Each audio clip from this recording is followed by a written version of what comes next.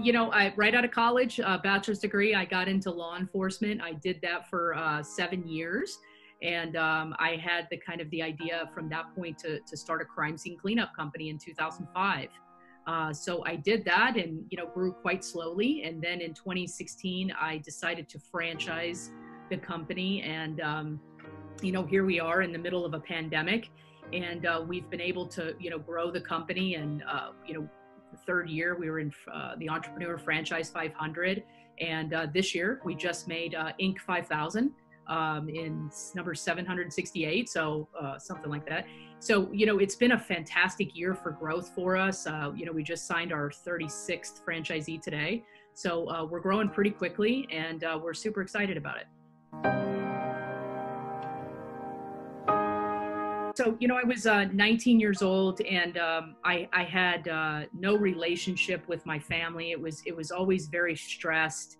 Uh, there was no you know common ground there. We didn't get along. Um, so i was effectively on my own uh, you know right when i uh, graduated high school. So uh, i knew that i would have to go into the military to be able to pay for college. So I knew that if I gave them four years, they would literally give me the GI Bill and it would pay for everything. Mm-hmm. So I was never one of those people that, you know, uh, when I grow up, I want to be, you know, a career in the military. It, for me, it was a means to an end. Mm-hmm. Um, and I, you know, I thought I can do anything for four years if, if they'll give me that, you know, that money. So I, I enlisted in, uh, in the army. I was looking at all the branches and, uh, the uh, the Marine Corps required five years, and I thought, well, why would I do five when I can do four and I'm still getting the same thing? So mm-hmm. that was really the only difference uh, why I chose the Army over the Marine Corps, and uh, the Navy was never an option. I have no desire to be on a boat for six months at a time. So uh, I went in and. Um, this was 1994 i was uh, you know no family support. I literally had to break into my parents house to uh, steal my birth certificate just so i could enlist because i didn't even have that. So uh, i got my birth certificate. That's what they needed and uh, went through everything got into b- basic training and i actually liked it a lot. I thought it was very challenging and i was learning such cool things that i would have never learned anywhere else you know and probably will never use again, like you know how driving Humvees and uh, setting up claymore mines. And I had never shot a gun before, so that was my first time doing all that. So I found it very interesting. Um, this was during the time in 1994, uh, Bill Clinton had just passed the Don't Ask, Don't Tell policy. And that really, when he passed that, it gave me a false confidence that I was going to be okay because I thought that was my protection. Don't ask, don't tell don't pursue they couldn't pursue. So i had this false confidence that i was going to be okay. I just you just keep your mouth shut you do your four years and you move on. So uh, it, when i was in uh, my unit there was uh, pro, there was 28 women out of uh, four or 500 there wasn't a lot. And uh, we were all housed in in different barracks and it was uh, giant open barracks. Like there was a cot every two feet. So it was one of those type of things. And so the, you know you're in ba- you're in basic training. There's there's no privacy or anything like that. So at the end of basic training um, I, we started getting called in to um, the higher ranking people and they were interrogating us. And i didn't know what it was at the time but looking back it was a witch hunt. Mm-hmm. so they were calling each one of us in individually and asking who the gay soldiers were Mm. And uh, we're in basic training. We're 19 years old, and they were intimidating these girls.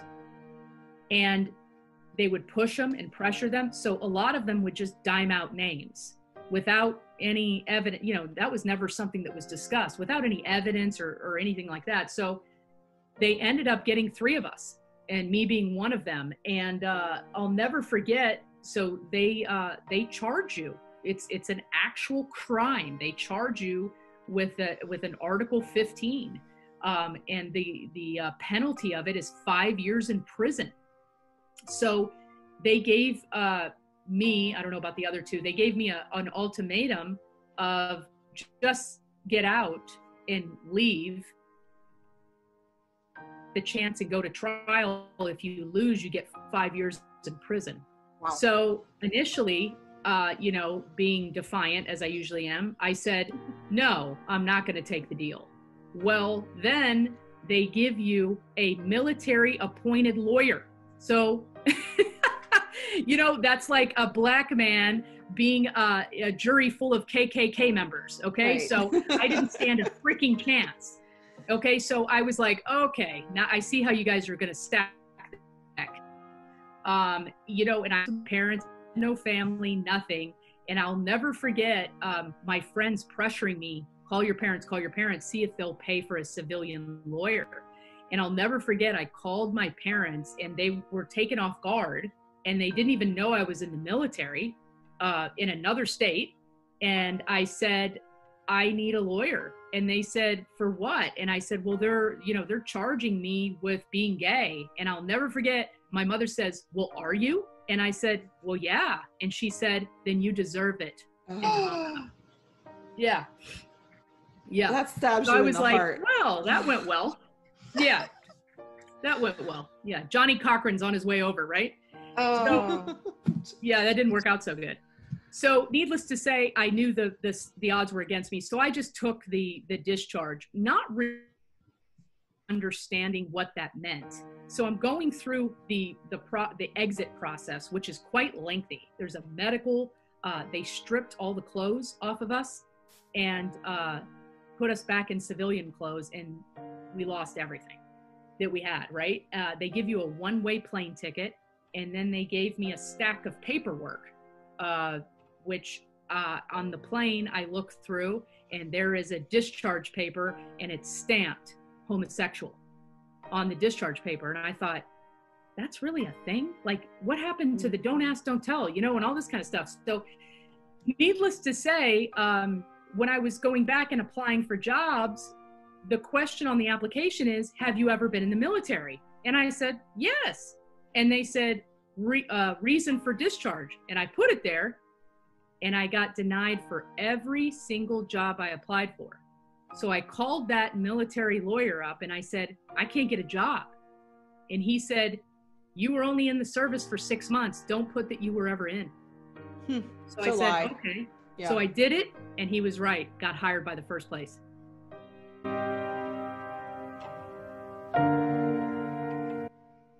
You know, um, I think that defiant 18, 19 year old uh, is kind of what I was trying to prove something. So they, they weren't going to help me. No one was going to help me with, with college or getting there or whatever. So my my my goal was okay I'll I'll essentially torture myself for the the next 4 years so that I can I can get this college degree you know you think that's that's everything and um when that got derailed I thought I'm screwed I really thought that so what I learned from that was you have to pivot. You ha- it life is going to take you down a different road than what you planned and you can sit there and you know get up in the fetal position and cry about it or you can pivot and take the other road and see where that takes you. Mhm. so when i got discharged i thought i'm screwed. I have no way to get a job and i have no money and now i, I still have no education.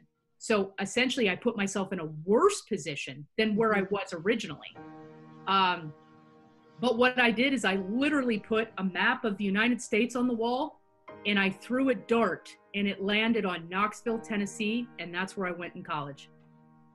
wow. Yeah, I lived there for one year so I could get residency, and then I took out loans for the rest of it. And I worked two jobs while I was going to school, and it taught me resilience. And you know, looking back on that, all of these events that you know individually would be catastrophic, but collectively, it's almost it almost takes my breath away when I really think about it. How uh, compact they all happened within you know four or five years. Um, but looking now, all of these things happened for me, not to me. Mhm. So it, it, it created where I am today. And now when, you know, the shit hits the fan, so to speak, I look, look at it and go, well, that ain't nothing compared to what I was at before. You know, um, homeless, 19, nowhere, you know, with a, a discharge paper that was essentially the scarlet letter. Mhm. Um, but you know, the military was not kind to my community at all. And uh, you know, I don't know how it is today, but it it was bad enough that they were, you know, trying to discharge us based on an interrogation of rumors. But what was even worse is they paraded us around and called us the chapter 13s. So uh, that's the that's the chapter for for that particular discharge. So what it, it's essentially what I look at it is what's the difference between that and forcing the black community to drink out of a different fountain? It's mm-hmm. the same mm-hmm. thing. Yeah. It's yeah. the same thing. It was just 1994 as opposed to 1960. Mm-hmm. Well, you, you it wasn't, I don't want to make it seem like it was easy and that no. I just, you know, was defiant because I'll tell you, there was many times where I was beat up badly. Mm-hmm. And uh, sometimes you just got to take a minute or a week and sit back and think, how can I mm-hmm. pivot and how can I go a different direction? Because clearly life is not sending me this way. I was mm-hmm. not meant to do my four years there. I was meant to pivot and have a different experience. And I probably wouldn't have had that experience if I hadn't have had the negative experience of the military. But you know, it, I still cringe to this day when I hear members of the gay community say, I want to go in the military. And I cringe because I'm like, listen, I don't know how the atmosphere is now, but I can tell you that shit was bad back mm-hmm. then. You know, yeah. it was really, really bad.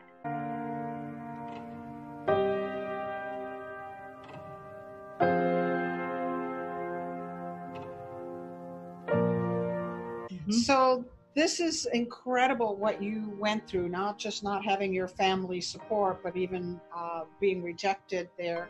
Uh, and then being in an environment where you thought you were safe and clearly you weren't safe, to that then setting a precedent to, to uh, being rejected for jobs. But you're on the other side of that now. We're a successful franchisor um, what did you learn through that those obstacles, those struggles? What did you learn, and what gift came out of that kind of a struggle? Wow. Yeah, it's remarkable, but I think it's so important to talk about this because you have younger generations who have it easier, mm-hmm. uh, don't always remember that they do. yeah. And and to know that things have changed and things are changing and even if they don't they still face discrimination they still face hardship. Yes. Every single one of you know our kids go through different things but to know that you can you're just like the